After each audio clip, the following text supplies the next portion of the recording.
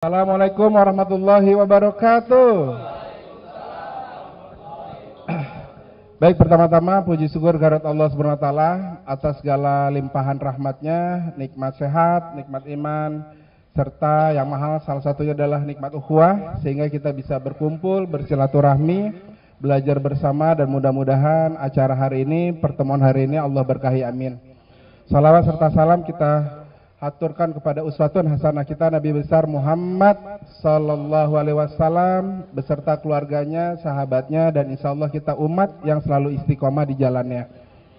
Pertama-tama terima kasih kami ucapkan uh, kepada manajemen Kemon. Di sini ada uh, para BOD-nya ya, ada Aldo, Topan, Lilik yang telah bekerja sama juga dengan Asikpreneur yang insya Allah rutin setiap Rabu kita mempunyai hashtag Wirabu Usaha. Kita akan hidupin lagi Wirabu Usaha uh, untuk mengedukasi teman-teman FGD uh, ya sekitar sampai 40 orang.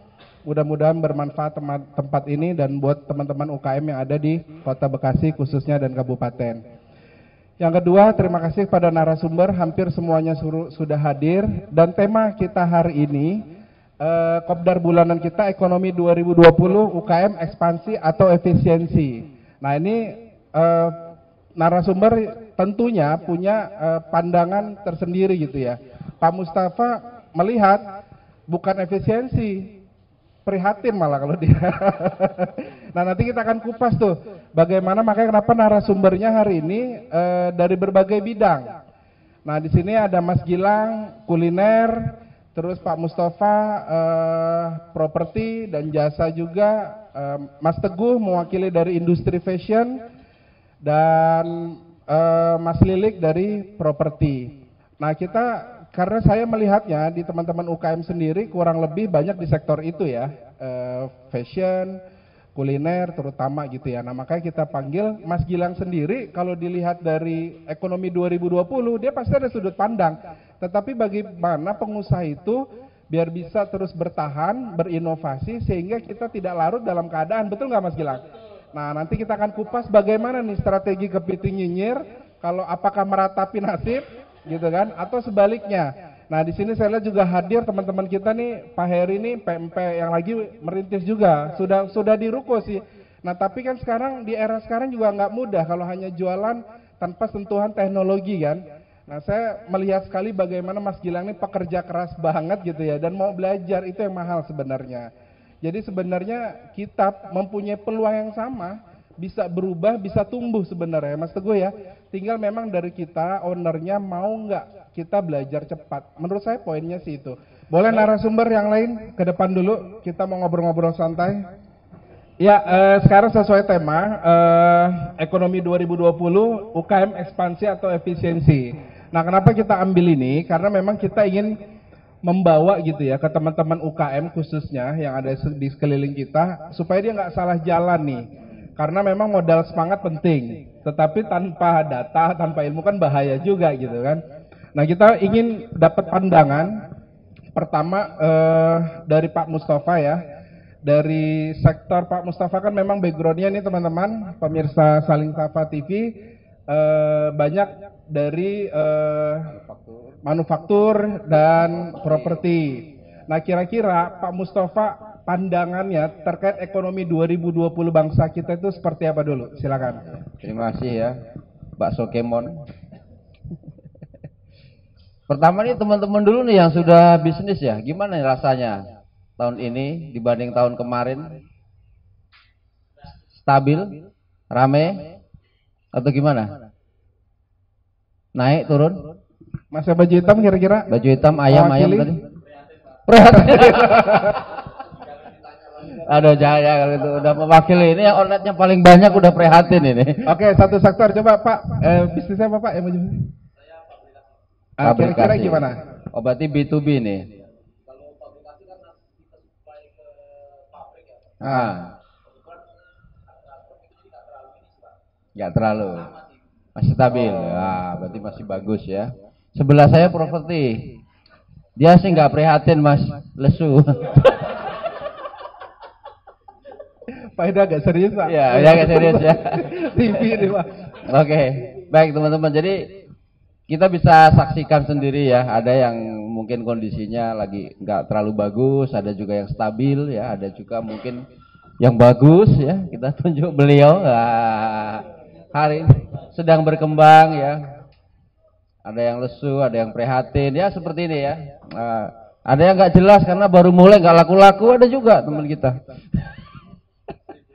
Seribu cabang ya, oke. Okay. Seribu cabang modal semangat dulu ya.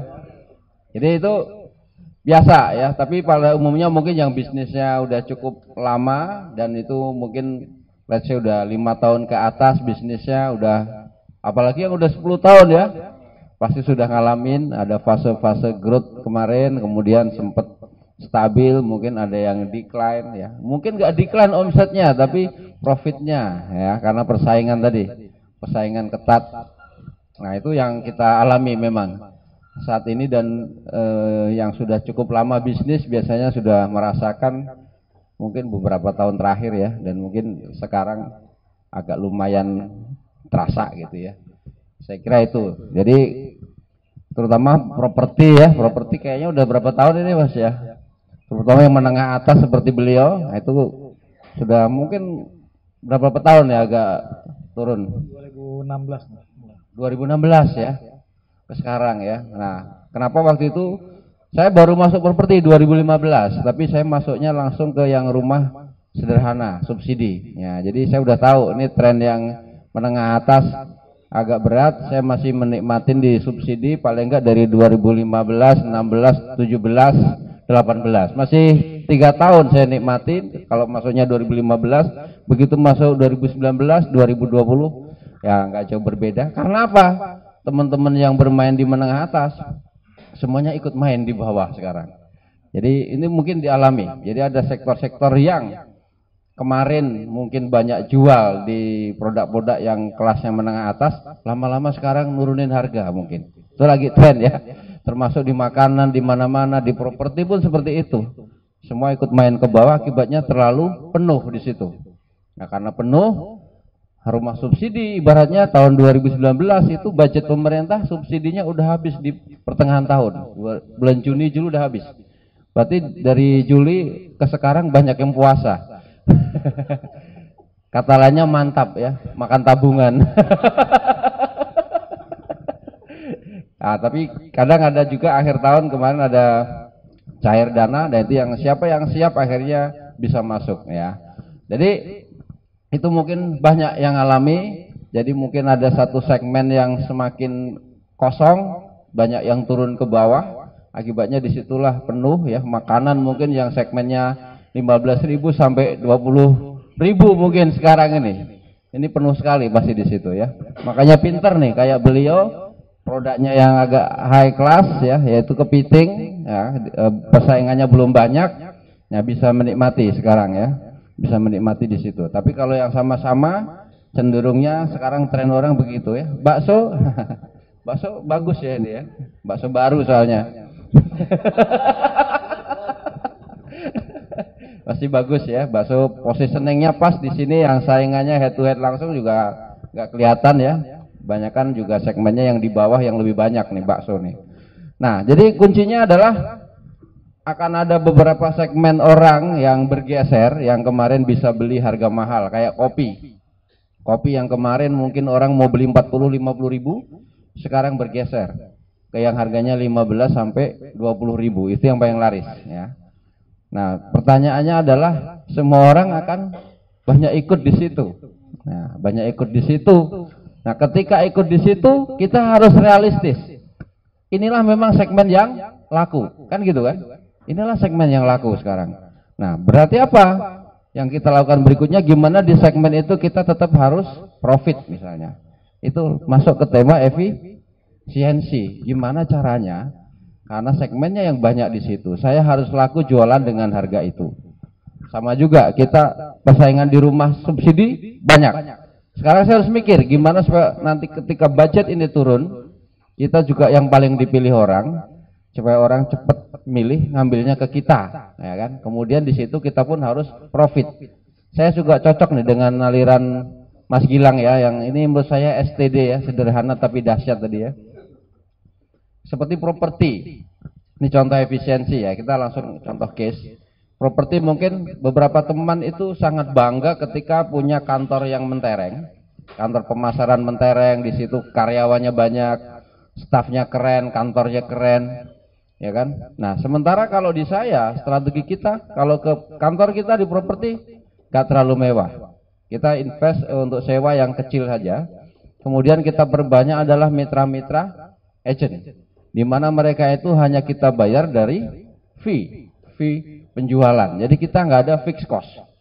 Kemudian kontraktor, apa yang kita lakukan? Kontraktor kita pakai sistem namanya turnkey namanya Mas ya. Jadi orang kita kasih SPK, dia kerjakan, kemudian kita bayar sesudah perumahan itu akad atau laku sebenarnya. Dulu itu sangat senang orang karena rumah subsidi cepat laku. Nah sekarang begitu kurang laku ya yang rugi kontraktornya sih gitu. Karena kan belum saya bayar kan belum laku saya jawab.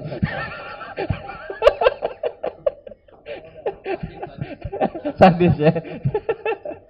Nah, akhirnya nanti ada urun rembuk aslinya ah, gimana enaknya nih gitu ya supaya sama-sama bisa jalan. Itu contoh strategi efisiensi ya. Jadi kalau beberapa teman yang karyanya banyak, fixed costnya tinggi, posisi penjualan lagi sulit itu luar biasa karena cash akan kegerus cukup besar gitu ya. Kalau income-nya nggak besar. Kalau di kita meskipun penjualan dari target itu cukup jauh dibanding tahun-tahun sebelumnya, tapi alhamdulillah masih bisa berjalan dengan baik, tidak perlu ada misalnya oh butuh modal baru harus ditambahkan misalnya itu tidak perlu dilakukan. Karena sudah bisa muter dari bisnis meskipun bahkan ya sales kita mas terus terang itu masih cukup jauh lah dari rencana yang standarnya gitu ya tapi itu masih bisa survive di situ itu kalau ngomong ya efisiensi kemudian kalau ekspansi harus pilih tadi memang ya benar-benar itu kita pilih dengan jeli yang marketnya ada daya belinya ada produknya memang e, bisa diterima orang jadi kalau saya tetap dua-duanya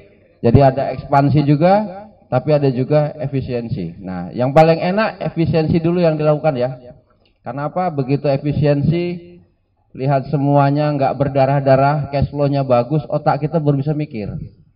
Nah, bisa encer. Ini kos sudah bisa kita tekan, kita kurangi ini, kurangi ini sehingga masih muter dengan bagus, baru kita mikir berikutnya gimana strateginya. Nah, itu yang harus dilakukan ya dengan situasi yang sekarang. Saya kira itu kalau dari saya. Baik, ini uh, ini pengantar dulu dari Pak Mustafa ya. Uh, nanti adapun nanti akan kita bahas di dialog keduanya ini tentang strategi lebih dalamnya. Nah, kita bergeser dulu ke Mas Teguh. Uh, beliau nih pemirsa Saling Sapa TV uh, banyak main di industri retail ya, Mas Teguh ya di fashion dan untuk lebih jelasnya silakan Mas Teguh bisa cerita dulu dan dikaitkan sedikit dengan uh, tema kita kira-kira gitu. Bismillahirrahmanirrahim. Assalamualaikum warahmatullahi wabarakatuh. Uh, sebelumnya saya pengen bertanya dulu ya, teman-teman yang hadir hari ini yang pemain fashion ada berapa orang ya? Saya nggak yakin soalnya saya lihat itu wajahnya wajah kuliner kayaknya ini nih. Oh fashion juga. Oke. Okay. Fashion ada yang empat empat lima orang tadi yang yang yang tidak hadir ya. Oke, okay, biar nyambung maksudnya saya bertanya ya. Tapi pemirsa TV jangan, jangan Oh iya iya, pemirsa TV saya rasa banyak ya. Uh, saya kebetulan sudah mungkin ini udah melewati berapa kali lima tahunan ya. Ini udah yang ketiga, jadi 15 tahun lah tahun ini ya.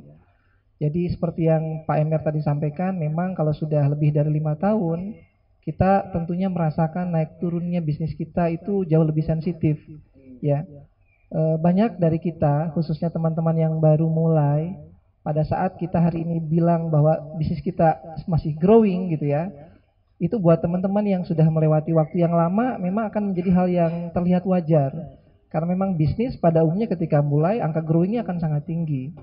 Tapi justru tantangan terbesar ketika kita harus bertahan.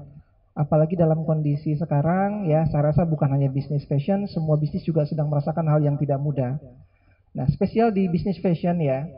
Sebenarnya saya ada hal yang lebih uh, apa bisa dipresentasikan tapi saya kasih summary saja lewat talkshow ini bahwa di luar sana secara global pengusaha-pengusaha fashion ini melihat tahun 2020 lebih pesimistik sebenarnya nah ini menarik ya. nih Kenapa? Maka mereka bilang pertumbuhannya akan cenderung turun 3 sampai 4% dibanding 2019. Dan yang berbicara bukannya brand-brand lokal, tapi brand-brand besar internasional yang notabene sudah lebih dari ribuan cabang di seluruh dunia, ya. Eh, kenapa mereka bisa mengatakan demikian? Tentu bukan hanya satu dua faktor ya. Yang terakhir kita tahu virus corona ini dalam sebuah konvensi keuangan 2-3 Januari yang lalu sampai disampaikan akan membuat semacam uh, global economy effect ya. Karena mereka percaya banyak sekali produsen-produsen entah bahan, entah pakaian jadi yang keluar dari sana yang saat ini tentu terganggu dengan adanya virus corona ya. Tapi yang jelas ya, saya menyikapi semua hal ini sejak awal dalam 15 tahun ini selalu melihatnya dua sisi mata pisau. Pada saat 98 saya masih uh, apa namanya masih mahasiswa ya 98 lalu ya kejatuhannya Pak Harto itu ternyata melahirkan salah satunya Pak CT ya yang kemudian menjadi konglomerat besar saat ini. Artinya teman-teman juga harus punya keyakinan yang mendalam bahwa tidak ada yang sepenuhnya itu menjadi masalah. Bagi beberapa orang akan jadi peluang masalah itu. Dan ini saya lewati beberapa kali. Pada saat dekade kedua 10 tahun ketika saya mengalami 2008 juga cukup goncang saat itu ya.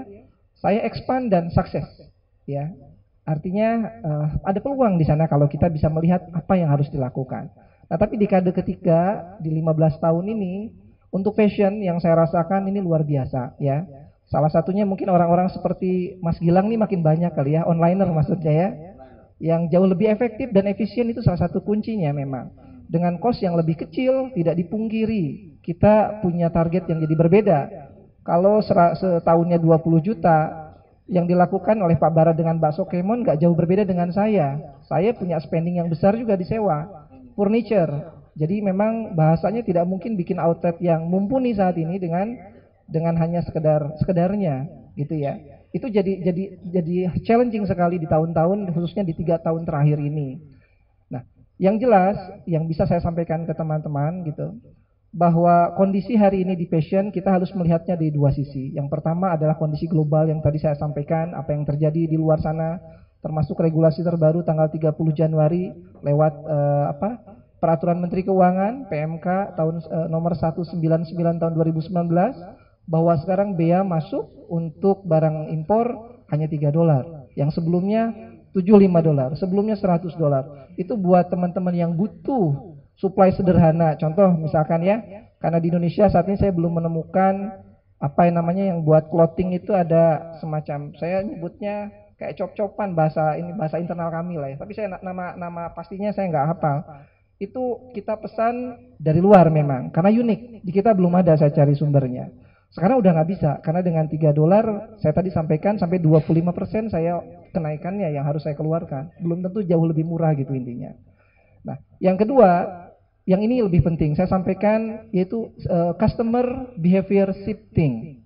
Ya, customer shifting ini menjadi hal yang sangat menurut saya menjadi kunci karena yang saya lakukan di satu dekade 10 tahun pertama sukses di 15 tahun yang lima tahun berikutnya ini nggak sukses saya melihat kata kuncinya ada di sana. Dan saya bersyukur pencarian saya uh, juga uh, dalam enam bulan terakhir menemukan jawaban-jawaban bahwa yang ke depan retail fashion yang akan jalan itu ke arah mana? Alhamdulillah di kami sudah punya solusinya. Ya, walaupun sebelumnya kita kita juga bingung bikin expand tiga outlet, loh kok nggak maju? Ada malah yang harus uh, tutup gitu ya, atau ganti merek, ganti apa? Ternyata kata kuncinya memang berbedanya di customer behavior dan itu sangat penting untuk teman-teman uh, perhatikan. Salah satunya seperti yang Mas Gilang sampaikan bahwa saat ini semua orang sudah media sosial ya sudah sangat aware dengan itu. Facebook menjadi nomor satu saat ini masih paling tinggi Facebook di dunia ya. Intinya adalah dengan adanya perubahan ini orang jadi online. Nah, buat toko-toko yang offline, yang masih mengandalkan offline udah nggak bisa saat ini. Makanya muncul solusinya yang dinamakan omni channel. Omnichannel is the only solution. Saat ini yang harus teman-teman juga pahami bahwa tidak hanya berbicara offline atau lebih jelasnya kalau orang-orang online terlalu yakin juga dengan online bahwa sebenarnya pamungkasnya bukan tetap di online tapi menggabungkan antara offline dan online. 91% transaksi retail di Singapura saja itu masih offline. Padahal mereka sudah digital ready sejak kapan? Ya, di Cina saat ini 70% itu masih offline transaksinya. Dan yang harus kita rubah adalah paradigmanya offline yang seperti apa yang paling tepat untuk situasi kekinian. Tentunya digabung dengan online. Jadi muncul yang namanya solusi omnichannel. Terus melihat 2020 yang lain dari kacamata saya, misalkan ya, kita juga tahu bahwa banyak orang mengatakan hari ini puka ya, volatile, uncertainty, uh, C-nya apa? Uh, A-nya ambiguity, C-nya itu complexity.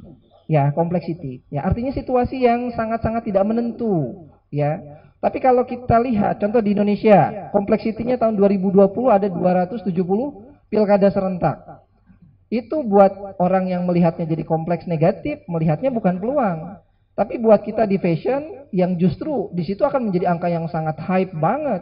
Semua orang butuh yang namanya kaos untuk kampanye misalkan. Akan sangat besar. Cara pandang kita salah satunya di situ. Kemudian dari sisi uncertainty misalkan dengan adanya perang dagang Cina dan Amerika. Ternyata Indonesia kalau kita lihat, coba teman-teman tanyakan siapa sih yang beli produk-produk kita? Apa orang luar negeri? Bukan. Jadi perang dagang sekali berapapun di luar sana, selama konsumen kita majority adalah lokal, maka sebenarnya kita perang lokal, bukan perang inter, internasional. Jadi harusnya kita masih bisa punya punya hal-hal yang bisa dimenangkan dengan strategi yang tepat di lokal. Termasuk juga dari sisi ambiguitas ya. Ini yang tadi saya bicara dua mata pisau ya. Kita jangan ragu bahwa selalu ada hal yang bisa jadikan peluang. Termasuk juga di fashion cara pandang kita harus sama. Ya. Uh, pebisnis yang akan menang di tahun ini saya rasa yang pertama yang pebisnis yang sudah jelas high alert, sudah paham tentang kondisi apa yang terjadi hari ini, dia paham ancaman-ancamannya dan dia tahu harus ke mana berjalan. Yang keduanya dan tidak bisa berhenti untuk bergerak ya. Dan kita inovasi. betul dan berinovasi. Itu penting. Tidak mungkin kita menjadi pemenang tanpa kita melakukan itu. Boleh revenue kita turun tapi profit harus kita jaga. Ya, tadi yang disampaikan Pak MR tentang market yang bergeser ke arah bawah, fashion juga sama. Sekarang di yang terbaik saat ini berjualan yang laris fashion adalah pasar menengah. Karena pasar menengah kita itu didominasi oleh anak-anak muda yang belum punya uang banyak. Ada pergeseran dan uh, Asia Tenggara itu yang terbesar. Dalam 2025 ya lebih dari 40% itu ada usia muda. Artinya kalau kita fokus ke sana saja, produk-produk menengah dengan harga yang pas untuk mereka, kantong mereka, sebenarnya kita punya peluang yang sangat besar untuk maju. Coba teman-teman lihat di online ya, saat ini dominasinya apakah orang-orang yang berumur atau orang-orang muda? Pasti jawabannya anak-anak muda. Jadi yang jelas jangan berhenti berinovasi, jangan juga berhenti karena masalah yang kita hadapi hari ini, tapi efisiensi menjadi hal yang perlu dilakukan di berbagai lini tidak lagi kemewahan menjadi sesuatu yang harus kita tonjolkan, tapi kenyamanan tetap harus nomor satu buat customer. Itu yang harus kita lakukan saya rasa. Mungkin begitu di awal Pak Baik, baik menarik banget ya. Eh, apa namanya eh, yang disampaikan Pak Teguh itu bagian dari kiwat menurut saya. Nanti kita explore lebih dalam. Sekarang coba kita bergeser dari kembali ke sektor properti nih. Nah, properti menjadi catatan menarik juga di berbagai uh, apa pembahasan diskusi ekonomi saya kemarin di Metro TV, TV One itu ternyata katanya kondisinya kondisinya juga 2020 itu belum membaik juga. Nah menurut pelaku nih uh, Mas Lilik sendiri ngadepin di lapangan seperti apa dan saya yakin banyak sekali nanti dari saling sapa TV juga pasti banyak di industri ini nih mudah-mudahan bisa ada pencerahan. Silakan Mas Lilik. Baik, ya terima kasih. Uh, dekat mungkin. Ya, cukup.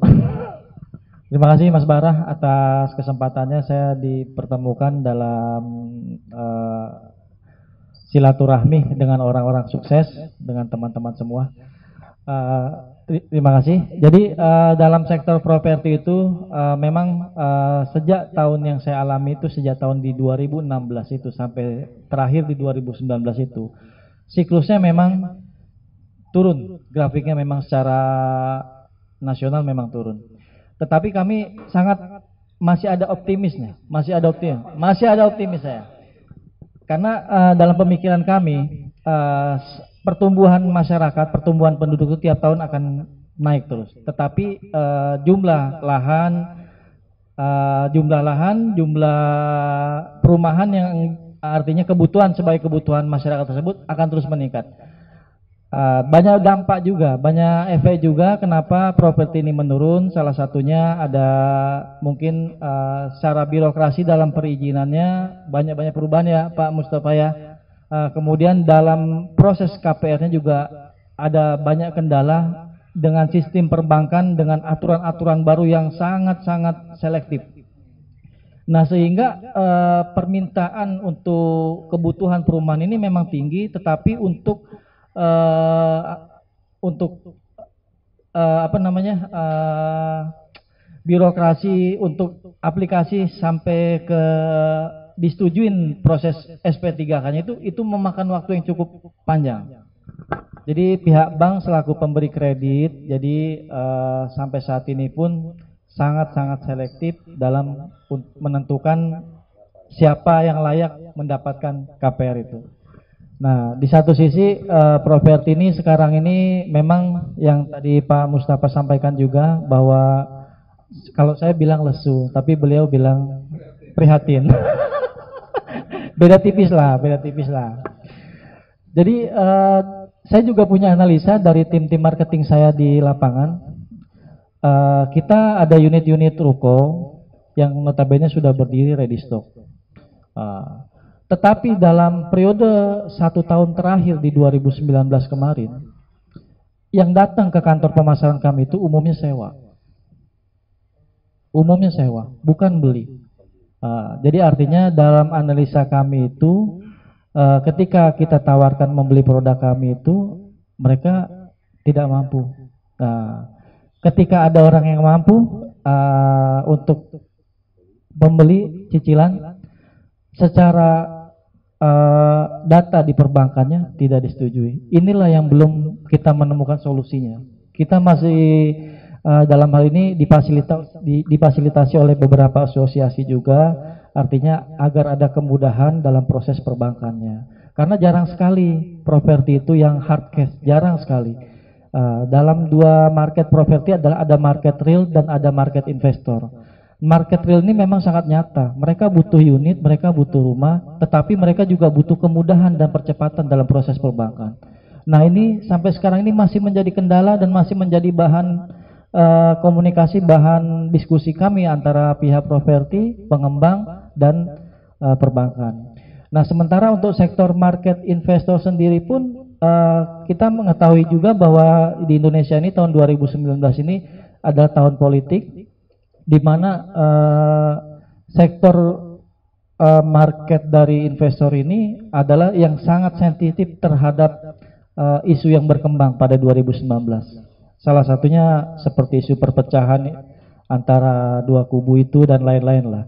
Nah sehingga uh, sirkulasi uh, untuk mereka menanamkan investasinya di unit-unit properti itu menjadi uh, terbatas lah, menjadi menurun lah, tertahan lah. Kami ada harapan di 2020 ini, tetapi kami ada harapan, kami beberapa kali mengikuti uh, diskusi, diskusi kecil dari beberapa asosiasi juga. Kami ada harapan bahwa di 2020 ini tingkat properti itu akan ada dampak kenaikan, walaupun tidak signifikan melompat. Ya, artinya ada ada grafik naik lah. Ya artinya di tahun 2000 ini masih sedikit sabar ya Pak ya. masih masih sedikit sabar. Ya betul betul. Makanya saya alhamdulillah sekali saya bertemu di dengan Mas Gilang, dengan Mas Teguh juga. Artinya beberapa teman-teman saya juga dari pelaku-pelaku properti itu melirik bisnis yang lain untuk menyeimbangkan cash flow. Nah, makanya saya izin nanti kita diskusi bersama. Jadi Mas Gilang cukup saya tawarkan ruko. Kolaborasinya ya, kolaborasinya di situ. Nah, berkolaborasi kita. Nah, uh, Mas Gilik dari 2018 ke 19 berarti uh, secara penjualan turun, stuck, turun atau jadi momen-momen golden periode properti itu saya bergerak di properti ini dari 2009. 2009 kurang lebih 10 tahun. Ya, itu grafiknya sedang tinggi loh. Setiap hari kita akad itu. Sekarang rindu akad. Ya. Akan oh ya lagu ya. Ah, Kalau boleh tahu di 2000 Mas Lilik udah jual secara total ya? Iya. Eh, di berapa unit berarti? 2019 2019 kemarin berapa kalau unit? 2019 antara dari eh, Desember 2018 ke Desember 2019. 2019 saya hanya jual 9. 9 unit. Hmm. 9 unit. Memang eh, kriteria yang produk yang saya jual ini memang eh, di atas harga 400-an. Ah, makanya saya insya Allah nih di 2020 ini di bul- mulai bulan Maret besok ini meluncing produk baru juga. Nah, saya kemarin diskusi dengan SPSI, eh, Serikat Pekerja Seluruh Indonesia. Jadi eh, pengurus SPSI itu diskus sama saya cerita, Mas Lili, eh, buruh di Bekasi ini gengsinya sudah agak tinggi, gengsi sudah agak tinggi. Tetapi secara real- realita mereka membeli rumah yang di atas 300 juta agak berat. Ah, tetapi membeli rumah yang subsidi gengsi tinggi. Nah, ini bicara gengsi ya. Serba salah. Nah, dari percakapan sederhana itu saya tangkap ini peluang. Saya tangkap ini satu peluang. eh, saya harus menyediakan produk Di tengah-tengah properti itu. di tengah-tengah itu. Di bawah 300, di atas rumah subsidi. Insya Allah nanti di 2020 bulan Maret kita mau Amin. Amin. Mohon mohon Tapi doanya. dari 2017 2018 tinggi kan? Berapa unit tuh? Eh, 2017 2018 tepatnya eh, pas saya di bawah 100 lah. Di bawah 100 Di ya. bawah 100. Yang paling boom berarti yang Savana eh yang Eh, Cibitung itu ya? Cibitung di Itu berapa unit tuh total?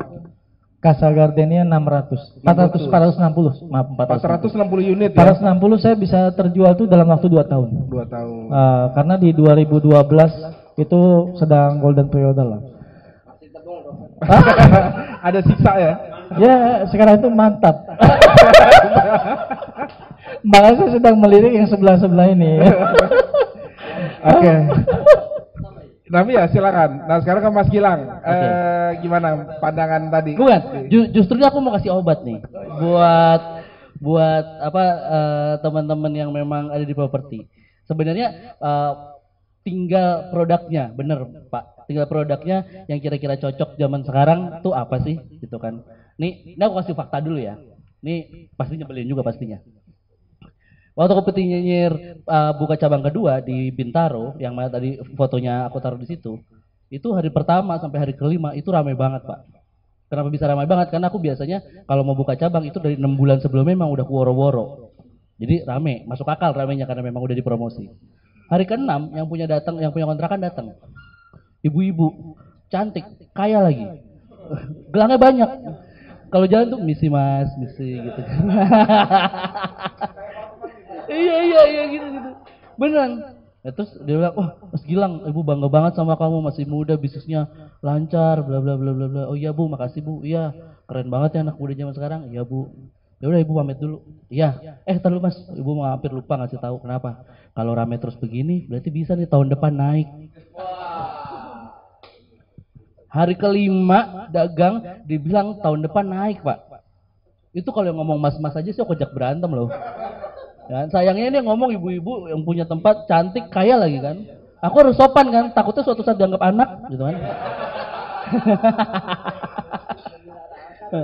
nah, terus aku udah bilang, terus aku bilang sama Bu, namanya Bu Agustina bilang, Bu, Kopi Tinyir itu nggak kayak restoran lain gitu. Kenapa? Kami tuh nggak butuh customer datang ke sini. Maksudnya gimana mas? Masa nggak butuh customer datang ke sini? Enggak. Coba ibu perhatiin deh, semua yang datang ke sini tuh adalah Gojek. Iya, terus kenapa mas? Kita tuh jual tuh di sosial media pak. Bu, aku bilang gitu. Iya. Sosial media tuh ada di handphone.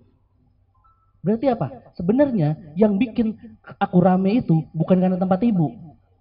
Tapi karena handphone. Sosial media di handphone. Sekarang aku tanya, ngetitikin Google Map di handphone bisa nggak pak? Bisa. Daftar GoFood, GrabFood, GoBiz dan teman-temannya bisa nggak di handphone? Bisa. Aku bilang sama Bu Agustina, ibu kasih waktu aku dua hari, aku pindah, ini titiknya aku geser, sepi lagi tempat ibu. Bukan karena hoki, karena database-nya ada di sini. Bukan di di mana aku buka. Paham nggak? Kalau orang dagang, di mana dia buka? Makanya orang tua zaman dulu banyak bilang kalau mau dagang lebih baik tempatnya dibeli. Biar apa? Biar nggak pusing kalau suatu saat digusur. Kalau digusur dia pindah kan nol lagi pak customer base-nya. Ya kan? Kalau sekarang udah nggak bisa. Aku pindah dua hari beres. Bener, pada akhirnya kamu pindah ke ruko yang harganya setengah dari Bintaro dan dapat dua tahun. Belum. Belum. Ya mungkin karena pindah itu Pak jadi nggak diangkat. Bener Pak, dua hari geser, nggak ada yang nggak ada yang nyasar, nggak ada yang nyasar. Kalaupun ada Gojek yang pernah ngambil di titik sebelumnya, begitu dia datang tempatnya tempatnya tutup, dia kira-kira ngeliat handphone nggak sih? Ngeliat, oh tempatnya geser, geser nggak dia? Geser Pak. Zaman sekarang itu orang nggak nyari tempat, tapi nyarinya koordinat. Makanya ini menjadi musuh nih sebenarnya buat teman-teman yang jalan apa ngejalanin properti. Karena karena kalau zaman dulu yang punya properti itu buset deh, laganya selangit. Bener, aku ngalamin pak. aku ngalamin, sering banget tuh. Segini, kalau nggak mau ya udah. Sering banget bilang kayak gitu. Rame dikit, besoknya naik dua kali lipat. Begitu naik dua kali lipat, ownernya bingung. Kalau mau ngikutin, ya harganya juga harus naik. Woi, ngeri juga. Iya, ya kayak gitu. Sekarang sekarang udah nggak bisa. Karena semua database-nya ada di handphone. Itu faktanya. Tapi ada solusinya. Tenang Pak, nggak semuanya racun kok. solusinya buat Bapak sama Ibu yang sudah punya ruko, sekarang janganlah jual rukonya, tapi dijadiin namanya kitchen space. Orang banyak bilang namanya smart kitchen, orang na bilang namanya virtual kitchen, orang bilang namanya cloud kitchen, ghost kitchen dan segala. Eh, termasuk itu Pak. Jadi apa? Dalam satu ruko itu dibikin sekat-sekat dapur-dapur aja. Sebenarnya mirip kayak puja sera, tapi kalau puja sera kan harus ngelebar, karena orang harus makan. Kalau ini nggak usah, ini ke atas. Siapa yang masuk ke situ? Orang-orang kayak aku, yang mungkin nggak punya modal cukup untuk sewa satu ruko. Iya, mereka satu, sewa sewa sewa satu dapur aja, gitu kan? Bayarnya sharing profit. Kalau sharing profit, resikonya tinggi, tapi keuntungannya juga tinggi. Pertama, dalam satu ruko bisa jadi 10 dapur. Terus yang kedua, ke, ke, kalau kalau itu kan untuk uh, kantor, Pak. Kalau ini untuk dapur, ini lebih gede lagi untungnya, Pak. Ini lebih gede lagi untungnya karena space boleh bebas. Bebas, bebas. Karena satu kamar itu bisa menjadi satu dapur. Dan dapur kan sebenarnya nggak ada acuan internasionalnya. Kecuali kalau kita mau bikin kitchen studio kayak Master Chef beda hal. Nah jadi anak-anak anak-anak muda yang zaman sekarang itulah nanti yang masuk ke situ. Pertama harga sewanya bisa menyesuaikan sama omset. Bagus. Karena apa? Kita nyewain sama orang yang ngejar omset juga. Potensi tingginya lebih gede. Nggak mungkin dia mau penjualan turun dong. Itu pertama. Terus yang kedua kita bisa nyiapin sistem kasir jadi mereka yang masuk ke situ nggak usah bawa kasir. Kita yang nyediain kasir dari kita. Jadi misalkan dalam satu ruko begini ada ada 20 dapur gitu kan. Kasirnya dari kita aja dua orang. Cuma tiap tiap bulan pajekin ke mereka saat apa untuk biaya kasir satu juta. 20 juta. Bayar kasirnya 2 juta. Masuk kantong lagi. Ya kan? Lalu abis ini misalkan satu tempat ini ada 20 dapur. Kira-kira mereka butuh telur nggak sih? mereka butuh sayur nggak sih? Nah, kita bisa jualan stok ke mereka. Kita jual bisa jualan stok ke mereka. Mungkin harga sewanya kita rendahin, tapi kita jualan stok. Mereka butuh apa kita adain. Lalu yang terakhir, kita juga bisa uh, bikin, kita juga bisa ini ambil outsource-nya. Percayalah Pak, nggak semua anak muda itu kuat ngadepin orang ya kan SDM makanya orang lebih lebih sering bilang mendingan miara ayam daripada miara orang Iya benar, karena memang repot. Cuma ide bisnis anak orang anak-anak muda itu gila-gila. Jadi nanti Mas buka apa ruko itu, tulisin itu kita ekosistem baru, kitchen space-nya apa, lalu ngiklan di sosial media tulisin, kamu buka di tempatku nggak usah bawa karyawan, kamu cuma cukup bawa ide bisnis. Wah, gokil. kita, ah, waktu itu sekarang kan sudah ada namanya Grab Kitchen.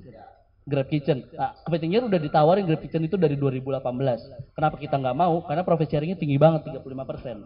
Nah, yang menjadi fasilitas, pertama, kompor aja Pak, dua tungku. Lalu ada meja packing, meja untuk ngepacking, sama uh, ventilasinya, sama ini. mesin cuci, ah mesin cuci apa namanya? Cuci piring. Udah, itu tok. Kita nggak nyediain untuk freezer, kita nyediain chiller karena setiap makanan beda treatmentnya, Pak. Kita cuma nyediain itu aja. Pada masuk deh di situ. Nah, jadi tergojek pada datang ke satu tempat itu aja. Heeh. Jadi solusi untuk ruko-ruko yang sekarang yang mungkin susah jualnya, menurutku jadi gitu, itu jadi duit, Pak. Dan soalnya banyak Pak orang-orang kayak kayak aku gitu kan nggak punya uang gede di awal, nggak bisa sewa ruko gede segala macam, udah ke dapurku aja. Gitu. Semoga jadi obat. Menarik, menarik obat.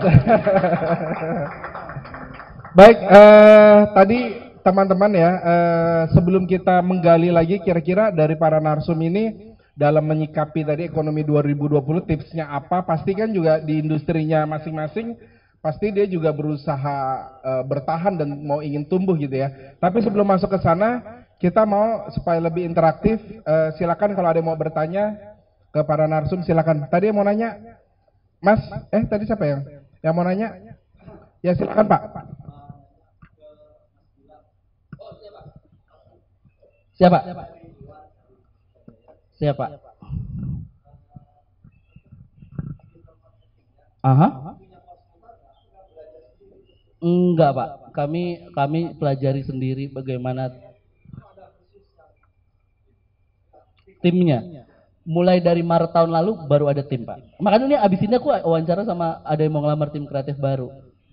Karena eh, selama ini aku ngerjain aku ngerjain semuanya. Kan aku dulu CEO pak. Chef everything oke kan? Masak oke packing oke semuanya.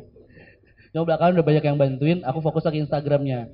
Nah bedanya orang-orang kita nih kebanyakan yang jadi susah berkembang. Karena apa coba? Karena pertama kita tuh nggak pernah ngerangkum apa yang kita kerjain terus yang kedua kita cuma percaya sama orang atau mungkin malah kita nggak percaya sama sekali sama orang makanya namanya regenerasi itu jadi susah apa terus menerusnya karena selama ini kita nggak punya SOP atau uh, kita nggak punya rangkuman yang kita kerjain. Nah selama kemarin aku ngerjain Instagram itu pak, itu aku catat pak. Begitu aku catat, itulah yang nanti aku delegasikan ke orang lain.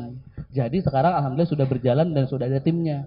Jadi apa yang aku kerjain di situ ada notesnya, di situ ada KPI-nya. Acuannya ini. Di saat konten bisa dibilang bagus kalau sudah begini. Di saat konten belum bisa bagus karena dia belum achieve ini ini ini ini. Menurutku sih jangan pakai konsultan pak. Menurutku. Karena apa? Percayalah konsultan itu nggak cuma ngerjain proyek kita doang, ngerjain yang lain. Yang mana ngerjain satu aja itu susah banget pak. Biasanya konsultan zaman sekarang itu bukan konsultan kreatif yang yang ngeboost sales. Biasanya dia cuma nyiapin frame untuk Instagram, di desain-desain doang. Iya, di desain-desain doang. Dan percayalah itu tidak akan mendatangkan omset, Pak. Yang mendatangkan omset itu di saat ada satu konten, banyak yang komen, kita balas-balasan di situ, terus akhirnya jadi viral, itu mendatangkan traffic, sampai akhirnya traffic mendatangkan sales. Semangat terus, Pak. Terima kasih banyak. Yang lain silakan. Tadi sebelah si oh tadi Bang Ber ya?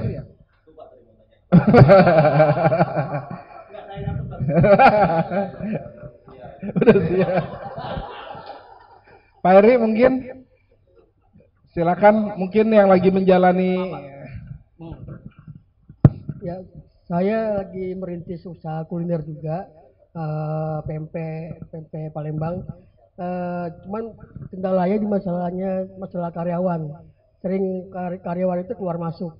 Nah kalau untuk Mas Hilal sendiri bagaimana dalam merekrut karyawan? Terus kalau mas- masalah upah karyawannya bagaimana?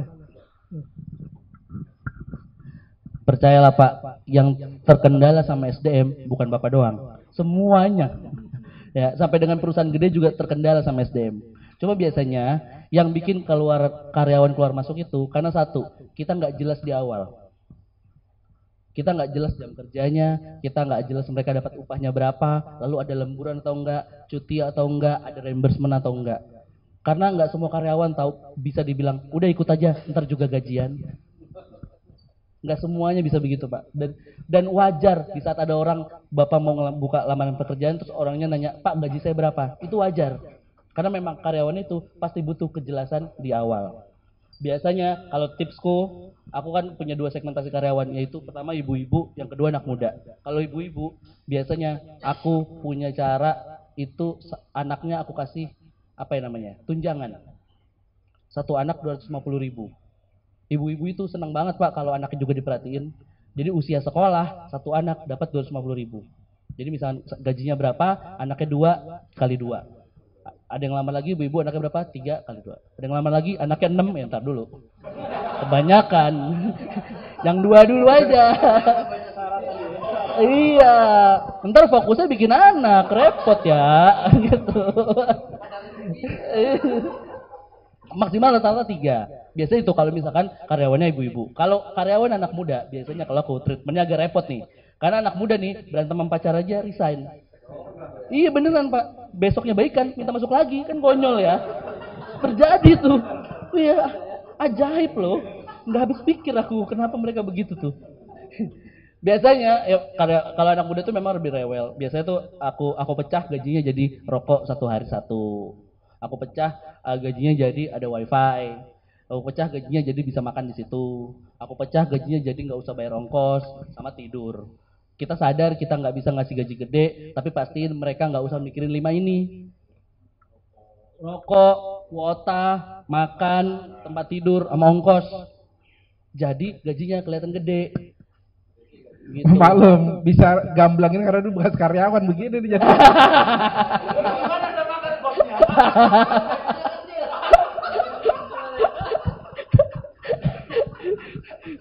Oke, okay. dulu dulu di gajinya kurang lebih mohon maaf gitu. Oke, okay, coba geser sedikit. Nah, kalau masalah tadi SDM menarik nih. Mas Teguh sangat expert juga di di dalam uh, menghadapi SDM. Bisa cerita, Mas? Kira-kira yang efektif pola buat SDM ke UKM itu gimana treatmentnya? Oke, okay. uh, eh, yang jelas sih tiap tahun memang kita menghadapi situasi juga yang tidak persis sama ya. Saya dari beberapa tempat yang dimiliki gitu, itu juga punya keunikan masing-masing. Ada muatan lokal, contohnya kalau outlet yang adanya di Jawa Tengah dengan Jawa Timur juga sedikit berbeda ya. Yang jelas kita harus paham tentang muatan lokal yang dibutuhkan. Namun secara umum benang merahnya memang kita harus bisa memberikan kenyamanan buat mereka. Gaji itu parameter yang menurut saya bukan parameter pertama, ya. Apalagi kaum milenials yang bergabung di tempat kami, mereka sering kali melihat gaji itu tidak lebih penting dibanding kenyamanan bekerja. Dan kenyamanan itu tentunya bicara bagaimana mereka bertemu dengan bidang yang sesuai Contoh pada saat wawancara orang yang kreatif kita temukan dan kemudian kita berikan hal-hal yang challenging di sana. Buat mereka itu suatu hal yang sangat menarik untuk mereka lakoni dan pada akhirnya bahkan tanpa dibayar lembur pun mereka mau gitu. Nah, hal yang secara spirit yang tadi saya rasa sudah juga mungkin disampaikan Mas Gilang ya. Kita punya bonus-bonus yang kita berikan kepada karyawan untuk membuat mereka lebih uh, agile lagi, lebih lincah, lebih atraktif dalam bekerja. Ya, di kita punya uh, misalkan karyawan yang sudah lebih dari lima tahun bekerja, mereka punya dua opsi di tempat saya. Yang pertama salah satunya seperti Mas Gilang, kita berikan umroh gratis. Itu setelah lima tahun. Di tempat saya lima tahunan, ya setelah lima tahun. Jadi ada parameter uh, yang utama, artinya berprestasi selama lima tahun itu kita berikan itu. Yang kedua, ya kita berikan dalam dalam hal benda-benda ya mungkin kita belikan laptop baru dan sebagainya kalau memang sebenarnya orangnya biasa ini berbicara loyalitas dalam waktu lama ya hanya saja sekarang makin ke sini umur bekerja teman-teman kalau kita kurang maintain memang jadi pendek. Jadi yang namanya ganta-ganti karyawan itu tidak lagi bisa dianggap menjadi masalah. Kalau kita masih menganggap karyawan masalah kita akan terus pusing. Justru kita harus menyiapkan sebuah sistem di mana berganti orang tidak menjadi persoalan yang besar buat kita. Itu yang saya rasa terjadi pada ya setidaknya 3-5 tahun terakhir lah. Saya fokus bukan lagi dengan pusing karena orang berganti, tapi kita memperbaiki sistem kita mengelola tantangan itu. Itu yang saya rasa dilakukan di tempat kami ya. Lebih dari lima tahun orang tuh udah bisa tahu ngebaca kita siapa. Sampai akhirnya apa coba? Perilaku kita dipelajarin. Suatu saat kita lengah, sikat. Bukan berarti suzon ya Cuma kita harus tahu di saat mana hubungan yang ada emosional, emosional ikatan emosionalnya, mana di saat urusan kantor.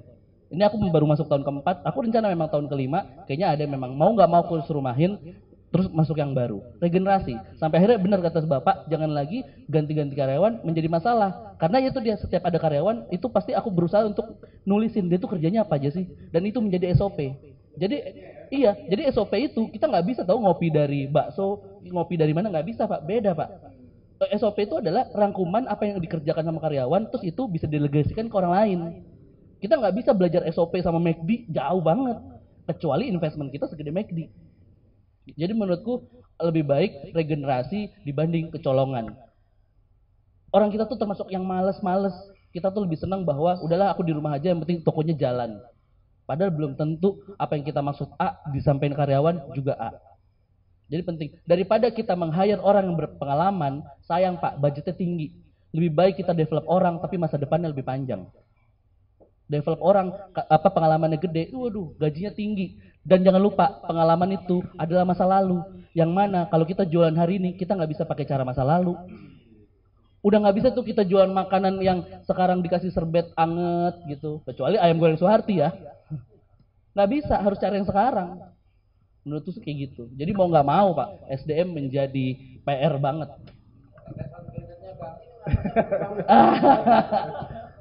Mungkin masalahnya sedikit Pak. Pokoknya yang penting kalau di tempatku tuh masak harus pakai celana dalam aja. Iya iya iya. cara pandang tadi, saya rasa penting untuk kita juga sama-sama kritisi ya. Artinya dalam bisnis yang paling paham adalah kita ya. Kalau di tempat saya, kenapa saya membutuhkan jam terbang yang lebih tinggi ya? Kompleksitas yang kita bangun mungkin setiap bisnis berbeda. Artinya saya butuh orang-orang yang secara kompetensi justru jam terbangnya tinggi. Saya punya karyawan yang paling tinggi saat ini 13 tahun. Ya, secara manajerial kita tempatkan di posisi yang memang pas. Tapi memang kata kuncinya betul, kalau kita tanpa monitoring, tanpa monitoring artinya kita tidak tahu bagaimana dia bertumbuh. Makanya kita harus punya KPI, Key Performance Index yang jelas untuk para karyawan yang kita punya. Bahkan ada toko yang cenderung setiap bulan selama enam bulan saja dia achieve terus targetnya, itu bulan ketujuh relatif bisa turun. Karena apa? Enam bulan itu membuat dia santai kalau kita tidak memberikan challenge-challenge yang baru. Itu yang mungkin jebakannya di sana. Dan jangan lupa mimpi setiap owner pada satu saat dia harus retire dari bisnisnya kan. Pada saat dia retire berarti artinya dia sudah menemukan orang yang yang harapannya capable dia untuk menjalankan bisnis itu. Makanya tetap kita butuh dalam bisnis-bisnis tertentu kita yang harus paling paham mengenali kompleksitasnya dan apa pun itu yang jelas kita punya tujuan yang benar maka lakukan seperti yang Mas Gilang tadi sampaikan ada reason di belakang itu intinya. Oke. Okay. Siap menarik. Ada lagi yang mau bertanya? Silakan.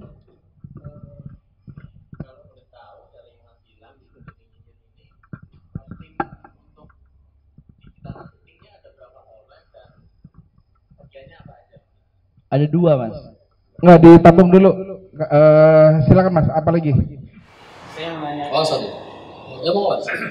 Tiga pertanyaan dua boleh pak? Iya boleh. Yang pertama dari Pak Mustafa Komuni. Tadi kan terkait masalah efisiensi dan ekspansi ya. Tadi beliau mengatakan bahwa kita efisien dulu, baru expand gitu. Tapi kan kalau sekarang ini kan kita sudah banyak tanda kutip kalau kita apakah kalau tidak efisiensi kita nggak bisa expand. Karena kalau kita expand sekarang kan sudah banyak metode kayak crowdfunding dan sebagainya itu kan oh, iya. belum tentu mau apa efisiensi itu kita nggak bisa expand. Kalau kita bikin akhiran kayaknya ini expand butuh lebih optimal tuh bagaimana?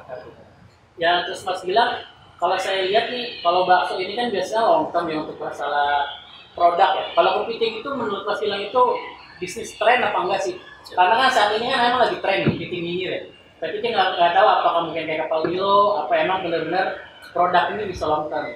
Terus kalau untuk Mas milik kapan itu kan kitchen kitchen apa namanya tadi kitchen space-nya bisa di karena saya bisnis kuliner juga. Wow. Ya ya ya. Pak Mustafa dulu biar nanti Mas Gilang sekalian tadi ya dua pertanyaan tadi kan masalah digital dan masalah tren tadi ya. Ya. Silakan Pak Mustafa pakai Cek ya, benar Mas. Maksud kita efisiensi adalah terhadap bisnis yang sekarang sudah running ya. Sekarang sudah running itu eh, kan biasanya kita sudah punya pakem.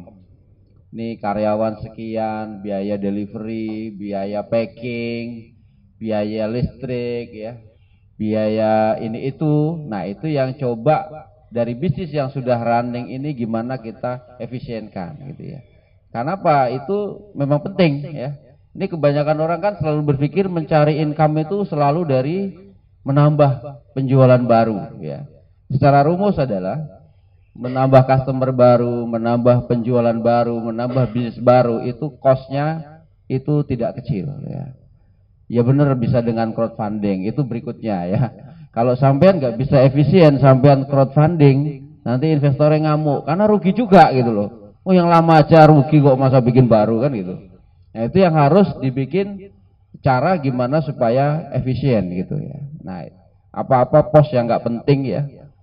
Kalau bisa dari pribadinya dulu ya, dari sang owner juga harus mulai mikir gimana supaya lebih efisien dibanding kemarin. Nanti lali ke perusahaan. Banyak cara ya dari 4M misalnya. 4M itu apa? Dari manusianya ya. Manusianya gimana dibikin efisien? Apakah jumlahnya ya? Apakah keahliannya yang ditingkatkan, loading pekerjaannya ditambah supaya nggak butuh nambah orang lagi ya kan tuh lain-lain ya. M, kemudian metodenya. Nah, M kedua ya, metode pekerjaannya kemarin mungkin nggak efisien nih, habis ini ke sini, habis ini ke sono. Ternyata tuh bisa dibikin yang ringkas ya. Prosesnya yang ringkas. Apalagi main metode mesin ya, mesin. Alat pekerjaannya ya, cara gorengnya, alatnya. Nah, itu harus dicek ya. Ternyata minyak goreng itu dengan cara seperti ini harusnya bisa lebih tahan lama misalnya. Ya itu mau nggak mau itu memang tugas kita ya. Main metode mesin material ya bahan bakunya ya suppliernya mungkin selama ini lewat si A. Ternyata kita bisa direct nih ke si B misalnya. Ke langsung ke produsen dengan catatan begini begini begini ya. Itu harus bahkan itu mungkin ya proses yang harus selalu kita lakukan ya. Karena apa? Di mana pun bisnis akan ngadepin yang namanya cost yang selalu naik terus misalnya UMR nih ya beliau nih yang supply ke uh, Astra ya saya juga ada manufaktur suplai material juga salah satunya ke Astra. Ya pun sama akan ngalami. UMR naik terus apa enggak? Naik kan? Oh, mau enggak mau. Harga ke Astra bisa naik enggak tiap tahun? Enggak, Pak. CR terus, Pak, cost reduction. Yang ada suruh turun 5%. suruh turun 5%. Itu udah tahu jawab kita untuk selalu melakukan efisiensi kan gitu. Termasuk trik manusia ganti baru. Tapi ya nggak harus. Misalnya orang makin expert kadang-kadang juga kerjanya lebih efisien ya kan? Daripada ganti orang baru harus didik lagi. Harusnya hari ini bisa produksi 100 gara-gara orang baru cuma bisa 60 ya itu contoh. Itu kalau di standar manufaktur juga ada. Nah baru ketika yang ada ini bisa efisien bisa sehat masih bisa profit bagus apalagi itu otak kita baru cocok untuk mikir ekspansi gitu mas. Karena kalau enggak, ini kebanyakan pemain baru kan, mikirnya cuma growth, growth, growth. Sebenarnya begitu dihitung-hitung, daripada saya punya lima outlet, kok enakan punya dua outlet ya? Pusingnya enggak karuan, profitnya malah lebih kecil. Bisa terjadi itu, gitu loh. Nah itu yang itu tugas kita ya, entrepreneur selalu mikir gimana efisiensi. Ada orang datang ke kantor saya sampai bingung, Pak ini kantor kenapa sepi banget? Mana yang kerja? Bingung gitu. Saya ada perusahaan trading namanya, jualan chemical. Itu pas kalau datang kantor, karyawannya cuma dua orang mas. Tapi jangan salah, itu omsetnya bisa 3 miliar sebulan. Ayo. Bingung kan?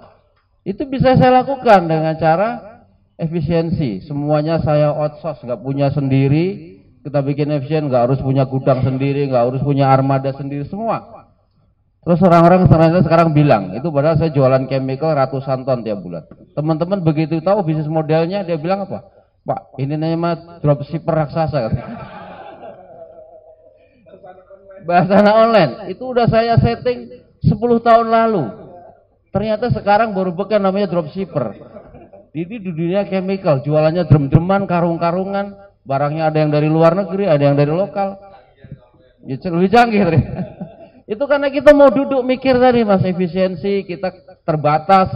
Gimana caranya? Nggak harus punya semuanya kan gitu. Itu contohnya.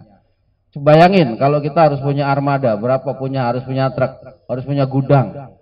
Padahal di skala besar kayak kita bisa dibikin kayak dropshipper Semuanya langsung kirim dari produsen atau dari importir. Nah, contohnya gitu ya. Itu efisiensi ya. Baru ngomongin ekspansi. Nah, ekspansi itu Zaman sekarang harus benar-benar jeli menurut saya ya. Bukan berarti nggak bisa, bisa dilakukan ya. Saya bangun manufaktur baru, saya tambah mesin bisa, saya ada di Kudus sana. Tapi saya sudah pilih ini customer mana yang memang punya potensi bagus. Kalau ini misalnya lokasi ya Dan ya, lokasi, lokasi, lokasi ya kan. Lokasinya mana yang benar-benar bagus, segmennya yang ada. Eh, saya berani masuk ke sana. Segmen saya siapa? Ada salah satu pabrikan brand besar di Jawa Tengah dan itu grup dari satu perusahaan yang termasuk paling sehat saat ini. Grupnya Jarum misalnya. Saya berani invest di sana, deket-deket mereka. Kenapa? Mereka cash flow-nya sangat sehat gitu loh. Dan itu terbukti. Apa yang saya analisa, saya pikirkan, saya terbukti. Itu saya satu company yang pembayarannya sangat-sangat bisa diandalkan ke semua suppliernya. Itu contohnya ya. Itu contoh ekspansi bisa dilakukan, tapi benar-benar harus kita pelajari riset market tadi ya, riset di semua tipe bisnis itu butuh riset gitu loh. Cuma caranya kan beda-beda. Kalau di bisnis saya, saya akan datang ke daerah itu, saya cari cara siapa petinggi-petinggi company yang saya bisa temuin. Ya, bener nggak kebutuhannya, siapa pesaingnya, resource-nya apa yang dibutuhkan, saya cari semua sampai akhirnya, oke, okay, ini memang kita berani melakukan investasi. Ya karena kalau saya skalanya manufaktur, Sekali invest bukan hanya sewa 20 juta tadi ya mas. Sekali invest bermiliar-miliar gitu ya. Ya kalau gagal ya sama aja, mantap makan tabungan gitu. Tapi resikonya lebih besar tentu saja ya. Tapi itu bisa kita lakukan. Ya karya di properti ya sekali invest tanah sekian hektar gitu mas. Ya itu miliar-miliar juga. Tapi butuh dilakukan riset yang benar-benar ya. Itu Kenapa kita masih bisa ekspansi tapi harus benar-benar jeli gitu ya. Jeli, benar-benar kita riset yang benar, marketnya mana yang ada, strateginya gimana yang kira-kira memang bisa. E, termasuk tadi saya berani masuk properti, kita riset marketnya ada, tapi kita harus punya strategi. Saya selalu punya istilah apa? Prepare for the worst.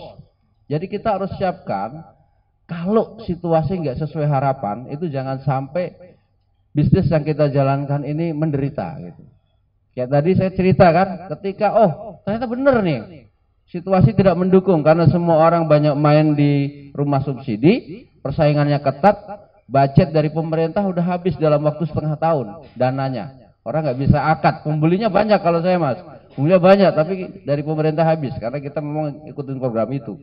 Nah itu saya sudah hitung, ketika The worst case seperti ini, perusahaan harus tetap sehat karena kita lakukan dengan efisien tadi kan. Oke, sewa tempat nggak usah yang besar. Karena apa? Ini rumah menengah nggak butuh orang ketika mau closing atau tanya-tanya kantornya keren, malah takut masuk nanti. Ya itu kan kita sesuaikan gitu. Kemudian apa lagi? Tenaga marketing. Ternyata kita bisa ketemu marketing-marketing handal tanpa itu kita gaji secara rutin. Mereka adalah Eh, para independent agent yang memang sudah terbukti teruji di lapangan. Nah, kemudian sistem pendekatan yang B2B, kita banyak fokus langsung ke company-company closingnya gitu ya. Jadi pendekatan ke HRD itu biayanya sangat ringan gitu loh. Staf di di kantor nggak harus banyak gitu kan, termasuk kontraktor. Kalau kita ngomong satu proyek, mungkin kita butuh 50 orang untuk bangun sekian ratus rumah seperti itu. Tapi kita pakai cara yang efisien. Kenapa harus begitu? Mendingan kita cari kontraktor yang terbukti bagus, modalnya kuat, tinggal ngomong, tolong dibangunin. Kita bikin surat perintah kerja, nanti kita bayar kalau udah laku. Efisien nggak? Efisien, saya nggak harus mikirin gaji 50 orang. Itu contoh mas, efisiensi. Jadi ketika worst case terjadi, saya masih bisa rebahan dengan santai ya, bagus sekali. Bisa main HP, tanpa mikir beban yang terlalu berat. Nah itu Siap. Baik, nanti bisa kita lanjut lagi. E, karena Mas Gilang harus ke Bogor, silakan tadi yang dua pertanyaan tadi. Biar nggak penasaran ya. Nanti boleh pamit duluan nggak apa-apa. Siap. Mas pertama tadi apa tentang tim kreatif? Digital mark. Tim digital marketing. Ya, itu masuknya masuknya tim kreatif kalau aku nyebutnya. Kami ada dua orang. Dua orang metodenya kami uh, bayarnya per konten. Jadi kalau berurusan sama tim kreatif, janganlah gaji bulanan. Capek Kenapa? Orang kreatif itu nggak kayak ngerjain laporan Excel dua jam beres. Kalau menurut dia belum dapat ide, nggak bisa. Kadang-kadang ada yang main handphone, kadang-kadang ada yang tidur apa segala macam. Itu pakai makan hati. Lebih baik dibayarnya per konten aja. Jadi misalnya kayak aku nih tiap hari harus ngasilin tiga konten. Jadi dijualnya apa uh, dia gajiannya per apa yang dia kerjain, bukan berapa lama mereka mengerjainnya. Jadi uh, itu jauh lebih efisien. Dibanding kita hire apa namanya fotografer. Nyat apa bikin semua menu bakso. Bagus. Begitu difoto bagus. Begitu mau diupload aduh ngomong apa ya?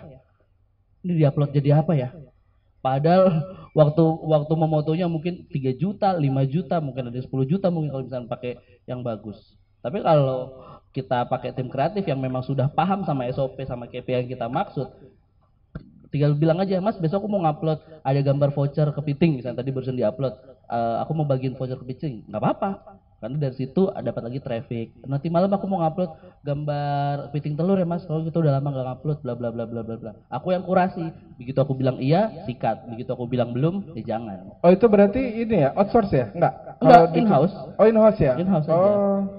Tapi kalau Mas Gilang sendiri kalau ada tips nggak buat UKM yang baru lah, Mm -hmm. yang baru mulai gitu ya? Oh jalanin sendiri aja dulu. Hah? Maksudnya jangan langsung pakai tim kreatif pak. Kerjain sendiri. Kerjain sendiri dulu nah, aja misalnya, pelan-pelan. Misalnya tapi belum belum paham tuh Hmm? untuk bikin brosur yang bagus aja belum belum bisa. Follow kepiting nyinyir. Nanti juga paham kok biasanya. Bi bi biasanya jadi tahu oh kalau kepiting nyinyir itu biasa ngupload jam berapa aja. Lalu gimana sih captionnya? Nah itu desain desainnya itu loh, desain. aku nggak ada desain pak. Aku tuh nggak ada tuh yang bagus-bagus kayak gini nggak ada. Hmm. Beneran. Eh, iya, padahal aku DKV. Loh. Kenapa? Kalau aku 3 juta Pak, per orang. Enggak, per orang, per, per, per, ah, per bulan jadinya 3 juta. Jadi tetap dibayar bulanan, tapi berdasar- berdasarkan progres kerja, bukan jam kerja. Jadi misalkan Mas Gilang besok aku mau ngupload konten A, B atau C. Terus aku lihat, oke approve. Besoknya dia datang jam 11 siang, pulang jam setengah 12, nggak ada masalah. Yang penting hari itu dapat kontennya dan kepake. Tapi kalau dia malam, malamnya belum ngasih tahu Mas Gilang eh, belum ngasih tahu nih mau ngebrief apa. Maksudnya besok mau apa mau moto apa. Besoknya dia masuk jam setengah enam pagi sampai jam setengah enam sore, dapat 50 foto, kemungkinan semuanya ketolak. Karena apa? Takutnya nggak sesuai sama kebutuhan. Bisa, bisa kalau gitu juga bisa pakai. Oke, next. Tadi apa Mas? Maaf Mas, lali aku. Oh, Oke. Sebenarnya sih Mas, tadi kan aku bilang ya ada es kepal Milo, ada ada ada Taiti, ada boba. Sejujurnya tadi aku lupa sampaikan. Sebenarnya yang tren F&B yang gampang banget trennya ganti itu adalah jenis makanan dessert atau jajanan atau minuman. Itu gampang banget ganti trennya. Kalau main course itu cenderung masih sustain. Kepiting dari dulu orang jual kepiting, cuma sekarang ada inovasi baru, dikasih jagung, nggak pakai piring dan segala macam. Bakso dari zaman kapan tahun udah ada, tapi sekarang ada bakso yang dalamnya ada apa eh, dan segala macam segala macam. Treatmentnya aja yang berubah, tapi main course tetap sama. Cuma kalau jajanan, waduh itu repot banget. Contohnya ya kayak boba, silin, ayam mecin itu, itu. Terus apa? eh street food, street food gitu lah. Kebab apa segala macem. Waduh itu repot mas. Saranku kalau mas mau usaha dan dessert, jangan investasi tinggi-tinggi. Karena akan gampang banget, fluktuatif banget eh, ganti trennya. Tapi kalau main course masih aman. Gitu. Mas, aku mau usaha yang paling sedikit resikonya. Gampang, nasi goreng. Nasi goreng udah paling laku deh. Cuma jangan pernah berharap bisa bisa gede untungnya dari satu cabang. Mau nggak mau harus ke samping karena biasanya metode metode growth-nya F&B itu cuma kalau nggak ke atas ke samping. Kalau ke atas itu berarti aku harus punya tambah kepiting. Aku harus punya source yang memang langsung dari petaninya supaya apa? Marginnya lebih tebal. Tapi kalau ke samping ya berarti nambah cabang, kemitraan dan segala macam. Biasanya gitu. Semangat Mas. Terima kasih banyak. Oke, kalau enggak kita minta eh, dari masing-masing narsum kurang lebih lima menit kira-kira eh, closing statementnya seperti apa. Mas Gilang mau duluan atau gimana? Oh ya, silakan dimulai Mas Bang Lili. Ketua biasanya pemongkas belakangan deh. Nah, Bang Lili kira-kira 3 sampai 5 menit, silakan. Halo? Ya, terima kasih. Ya, saya banyak bersyukur, banyak belajar di sini dengan Mas Gilang, Mas Teguh, Pak Mustafa, Pak Bara, dan teman-teman semua. Artinya kesempatan ini uh, ada hal-hal yang uh, memang uh, kita kuasai dengan sendiri, ada hal-hal yang uh, dikuasai oleh orang lain. Dalam hal ini uh, mungkin dari alur pembicaraan dari awal ini mungkin tren topiknya adalah kulinernya beliau. Karena Iya, karena saya sendiri pun berpikir bagaimana caranya saya ini eh, bisa jalan bareng dengan beliau. dengan dengan tangan beliau. Ya artinya dalam uh, saya uh, berwira swasta ini artinya ada uh, yang income musiman, harian dan jangka panjang. Nah, artinya di sini saya berterima kasih kepada Bapak Pak Ra jadi saya sudah menemukan ini uh, orientasi baru. Ya, seperti itu aja, Mas Bara. Ada ya. peluang baru lah. Terima kasih. Ya, Assalamualaikum warahmatullahi wabarakatuh. Mas Teguh, silakan Mas. Aku sebenarnya mau minta izin ada ada video ya yang pengen aku tunjukin. Masih ada waktu nggak nih Mas? Gak apa-apa ya. Bentar ya, aku coba konekin sebentar. Oh oke okay, oke. Okay. Soalnya ada video nanti yang harus di play terakhir setelah ini. Oke, kita mulai dari yang ini dulu nggak apa-apa deh, langsung aja Mas naik ke atas, naik ke atas dulu sedikit. Naik ke atas lagi. Oke ya. Yang ini ya. Ini yang tadi saya sempat singgung ya, bahwa saat ini lebih dari 2 per 3 atau sekitar 70 persen ya populasi dunia sudah berhubungan dengan sosial media. Jadi di apa pun bisnisnya gitu, kita harus pahami bahwa tidak lagi kita bisa bisnis dunia offline saja ya bahkan sosial media seperti Instagram, Facebook ada menjadi sebuah kewajiban untuk kita growing. Yang kedua, 55% dari para eksekutif di fashion, ini bicara fashion ya, sangat percaya bahwa melokalisasi eh, toko-toko uh, kecil, outlet itu menjadi hal yang sangat penting untuk dilakukan khususnya menjadi tema-tema dari tahun ini ke depan. Jadi berbicara offline itu menjadi sesuatu yang tidak bisa dihindari juga untuk brand bertemu secara fashion ya ketemu dengan customer. Feel dari baju itu nggak bisa. Empat dari lima orang memang melihatnya secara online, tapi mereka belanjanya tetap di offline. Yang berikutnya lagi, ini penting nanti berhubungan dengan video, bahwa saat ini kesadaran secara global, pemain-pemain fashion itu sudah sangat erat dengan produk-produk yang harus ramah dengan lingkungan. Ya, penelitian-penelitian terkait sampah karena fashion itu sudah mendunia di berbagai negara sudah dikampanyekan. Artinya bahwa kalau kita ingin juga menjadi pemain fashion yang mengglobal, kita harus bisa memanfaatkan celah ini sebagai bagian dari campaign dan produk kita. Contoh sekarang di mana-mana ada beberapa daerah bahkan sudah punya perda tidak boleh menggunakan plastik. Contohnya itu. Di fashion ini juga sangat ketat karena apa? Limbah yang dihasilkan fashion ini luar biasa. Contoh di Thailand riset terbarunya mereka dalam satu tahun punya 350 ribu ton bukan bukan plastik, ini waste dari bahan. Kepak, nggak kepake misalkan cuma satu meter, berapa senti dikumpulin itu bisa 350 ribu ton dalam satu tahun. Dan itu mereka buang juga nggak bisa langsung terurai. Oke, yang berikutnya boleh, Mas? Tadi di mana ya? Oh, ini sorry Mas, aku jadi ngerepotin. Oke, yang dua yang terakhir adalah uh, ini adalah kesadaran dari pihak apa namanya uh, eksekutifnya terkait sustainable produknya ya kalau tadi secara kebutuhan customernya 67% mereka sudah melihat ini harus dilakukan. Kemudian yang terakhir nah ini juga penting berbicara tentang dunia global. 37% perdagangan lintas batas dari B2C itu sudah sudah tercapai. Artinya mungkin dalam waktu dekat akan lebih dari ini. Jadi kita harus bisa memanfaatkan uh, secara perdagangan bukan hanya bicara berjualan ke dalam uh, internal lokal kita sudah harus bicara juga berjualan kepada customer-customer di negara lain dengan adanya internet. Nah, yang terakhir saya pengen menunjukkan ini satu video dari salah satu brand terkenal, Guess ya. Tapi masalahnya ini bisa di play atau enggak di sini nih. Sebentar saya coba terakhir ya. Kalau nggak bisa ya tidak ada masalah. Kita coba terakhir. Presentasi Axipreneur PowerPoint.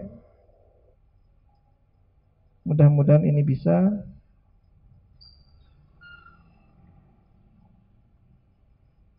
Nah ini dia. Saya play gitu ya.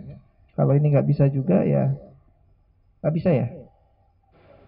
Nggak bisa dia nggak kompatibel ya di sini ya mas. Nggak bisa. Oke, okay, sorry banget ya. Padahal udah ya. saya prepare sebenarnya. Baik, itu saja mungkin Siap. closing dari saya. Terima kasih. Terima banyak. kasih Mas Teguh Plus. Pak Mustafa. Agak serius dikit Pak ya buat tag. Oh, serius, siap. Jadi highlightsnya nanti. Terima kasih kepada Asik Preneur ya. Bikin usaha itu asik ya. Sesuai tagline beliau jadi sebagai pengusaha itu kan pengusaha, orang yang selalu mengusahakan gitu ya. Jadi akan bahasanya tukang editing ngakal-ngakalin lah. Jadi eh, situasi apa pun seperti beliau-beliau semua tadi bilang selalu ada peluang ya. Jadi dan supaya kita bisa menemukan itu yang paling utama adalah harus tetap semangat ya. Ya, tetap semangat, punya optimisme ya kita. Kemudian situasi yang ada itu ya memang harus kita hadapi ya. Jadi mungkin nggak dibilang oh ini semua baik-baik saja, nggak harus begitu ya. Memang eh, kata para orang ahli itu the paranoid survival katanya. Jadi orang-orang yang punya sifat paranoid, paranoid itu ya takut ya. Takut ini akan turun, takut ini bersaing, takut ini akan berubah eh, landscape. Nah, itu yang bisa survive. Dan itu adalah sifat yang bagus saja kita selalu waspada. Bagaimana supaya bisnis kita ini tidak kalah oleh eh, perubahan, tidak kalah oleh persaingan atau tidak kalah tren ya. Nah, itu tugas kita. Nah, kita tetap semangat, kita punya sifat selalu waspada, kita bisa berpikir akhirnya dengan melakukan tadi efisiensi, ternyata bisnis kita masih bisa running ya. Beberapa mungkin yang sedang turun, nah, bisa melakukan efisiensi sehingga tetap positif, sudah itu baru dengan resource yang ada kita bisa tadi melakukan ekspansi ya ke dalam segmen atau mungkin produk baru ya. Tapi yang benar-benar kita sudah lakukan riset ya. Jadi berhati-hati gitu ya. Dan itu tetap aja itu adalah sumber pertumbuhan ya. Contoh nih sebagian mall besar mungkin mengalami penurunan tapi ada satu mall yang fokus dia oh ternyata yang dibutuhkan orang itu lifestyle. Dia fokus ke lifestyle. Yang kedua adalah kota-kota yang masih kategori kelas 3 yang memang di sana belum ada mall untuk lifestyle yang bagus. Akhirnya dia ekspansi ke sana. Di situ isinya tempat lifestyle di situ mau nyari baju fashion di situ nyari hiburan mau nyari tempat makan di situ mau nyari tempat wisata. Ada di situ. Itu di kota-kota ketiga. Ya kalau anda belum tahu namanya misalnya kota Pangkal Pinang misalnya ya. Itu sangat-sangat menjanjikan ya itu contoh bagaimana sebuah perusahaan harus jeli tetap melakukan ekspansi. Meskipun faktanya di kota-kota besar mal-mal atau tempat usaha yang dia kelola mengalami penurunan. Tapi dengan adanya itu dia bisa survive bahkan melompat lebih tinggi. Nah itu bisa kita lakukan di bisnis kita ya. Jadi itu yang harus kita lakukan saat ini. Saya kira itu ya. Ah, terima kasih Bapak Ibu. Hari ini ketemu sama Om-om dan Pak De, Pak De.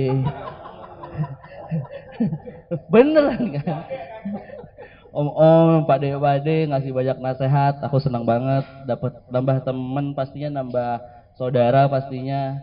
Eh, semoga abis ini tidak selesai sampai sini aja Pak silaturahminya. Semoga bisa memperpanjang rezeki lainnya. Tips eh, saran dari aku sih untuk yang zaman sekarang adalah pemenangnya adalah orang yang memang mau melakukan perubahan. Pemenangnya adalah orang yang tidak pernah merasa dirinya aman. Betul, Pak. Jadi jangan membesar tapi melambat. Itu masalah. Kita udah besar. Apa nih. tadi? Jangan membesar tapi melambat. Oh, oh bukan jangan melambai. ya? Iya iya iya iya. iya. Masuk akal, masuk akal. Iya, iya, iya. ada ada company yang karena udah gede banget terus urusan satu kebijakan aja birokrasinya panjang banget wah itu masalah itu yang terjadi sama Bluebird dan teman-temannya jadi menurutku gimana pun caranya harus licin ternyata hari ini harus bikin video TikTok mau nggak mau gitu kan padahal aduh TikTok itu kan kagak ada faedahnya ya gitu kan iya ngelihat apa vid- videoin orang-orang pada joget segala macam gak ada faedahnya tapi begitu aku upload di kepiting nyinyir ada 57 ribu orang yang nonton. Mau ngomong apa coba? Akhirnya apa? Bikin juga. Iya, kar- karena marketnya ke situ mau nggak mau. Aku nggak bisa bilang bahwa apa eh orang metodeku yang tahun kemarin bisa lagi dipakai tahun ini belum tentu. Metode tahun ini ya tahun ini harus dicari. Begitupun selanjutnya. Jadi jangan jangan merasa bahwa kita sudah expert di tahun lalu, lalu sekarang pakai template yang sama. Aduh, susah pak. Karena sekarang semua orang dapat informasi yang sama, peluang yang sama. Sama satu, menurutku ya, yang dimaksud ekspansi ini agak agak-agak ambigu sih pak. Apalagi teman-teman bisnis kuliner ya. Aduh, gampang panasan pak. Bener, ngelihat temennya udah lima cabang, panas, bikin enam cabang. Padahal eh bener nggak tuh dari enam cabang itu profitnya sama kayak dua cabang. Iya. Jadi kalau kenalan apa salam kenal siapa? Gilang. Bapak siapa? Enam cabang. Gitu. banyak itu pak. Banyak orang merasa gede karena cabangnya banyak. Padahal belum tentu semua untung. Jadi kita benar-benar paham nih. Yang paling penting itu kita as a owner tuh tahu company size-nya. Gitu loh. Kapan harus memang butuh ekspansi, kapan saat iya, hold. Yeah, Kebutuhan orang tuh beda-beda tahu. Si A mungkin memang harus punya seribu cabang. Jadi menurutku yeah, itu yeah. kita harus bisa bedain mana yang memang benar kebutuhan untuk ekspansi, mana yang uh, supaya kelihatan teman kita lebih jago. Itu sering Pak, aku sering terjadi. Mas, kapan buka di sini? Si ini udah punya ini apa 10 cabang loh. Mas, di sini kapan masuk sini? Aduh. Percayalah, nggak semuanya solusi. Bisa jadi bisa jadi apa? Bisa jadi malah petaka. Iya. Halusinasi. Jangan lupa ada namanya grand opening, ada juga namanya grand closing. Iya bener wajar itu dan itu lumrah terjadi. Nggak laku sini geser dikit. Nggak laku sini geser dikit. Masalahnya kalau nggak laku di sini 500 juta geser kan 500 juta lagi. Nah, makanya jualan di rumah. Bisa kok rumah tetap dikasih mular-mular apa mural-mural gini bisa. Terima kasih. Oke. Okay. oh, makasih bapak ibu. Wassalamualaikum warahmatullahi wabarakatuh. Waalaikumsalam warahmatullahi wabarakatuh. Luar biasa ya. Uh, saya sendiri mau 10 cabang jadi revisi nih. Baik, uh, kita ucapkan terima kasih dan aplaus yang meriah untuk para narasumber. Dan sekali lagi mohon maaf kalau ada kekurangan dan kami mendoakan semua mudah-mudahan teman-teman usahanya di 2020 bertahan dan bertumbuh insya Allah. Kita sering mendoakan kasih plus yang meriah untuk para narasumber kita. Wassalamualaikum warahmatullahi wabarakatuh. Assalamualaikum bersama saling sapa TV.